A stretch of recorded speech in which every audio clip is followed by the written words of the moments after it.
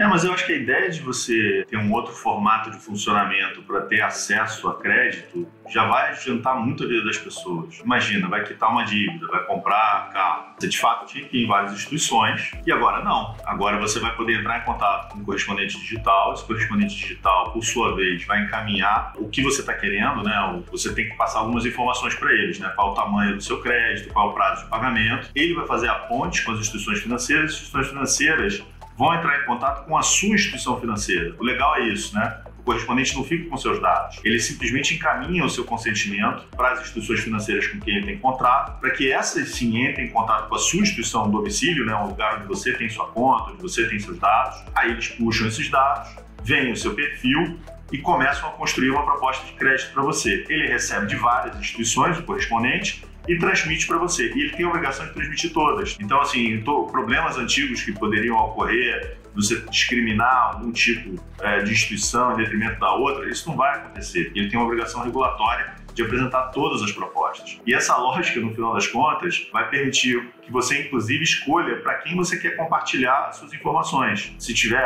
o, o, o, correspondente contrato com cinco ou seis instituições você não gosta de uma ou de duas, inclusive o Banco Central deu esse exemplo, você não precisa dar consentimento para todas, você só dá consentimento para aquela com as quais você tem algum tipo de curiosidade para poder receber algum tipo de proposta. Teve uma experiência ruim com uma, não compartilhe informação com essa. É muito interessante ver como é que isso está acontecendo na prática e é muito interessante ver como é que isso vai se dar, mas a ideia é que tudo funciona de uma forma muito fluida, né? E tira esse custo burocrático do processo de acesso a crédito. É, e uma, uma, um perfil de dúvida que a gente encontrou era justamente esse de como, como vai funcionar o próprio consumidor, né? Ah, como é que é? Eu acho que essa lógica de explicar que as pessoas, cara, é basicamente um aplicativo, né? Uma, uma forma digital de entrega, cada um vai poder ter a sua experiência do usuário específica. Você chega lá, eu quero, aperto o botão, compartilhe com essa, essa e essa, essa, e o correspondente passa e devolve. Ó, as ofertas foram essas, você escolhe uma. Tem, tem essa ideia de simplicidade muito grande, mas mas eu acho que tem uma lista até, acho que esse é o benefício mais óbvio e o mais de curto prazo, ficar mais fácil o processo de pegar crédito. Existem outros que são, estão sendo discutidos, que são mais especulativos, talvez, dependem de outros cenários, são mais de longo prazo, mas que também são benefícios associados ao, ao encaminhamento de crédito, expectativas pelo menos. E aí, no caso, além do, receber propostas mais de uma forma mais fácil, você ter possivelmente condições melhores, mais personalizado, porque aquela instituição que você não tem conta, mas você aceitou compartilhar o dado, vai poder ser mais assertiva na proposta, taxas menores, vários dos benefícios que a gente associava quando falava do Open Banking lá no início, a ideia de ah, quais são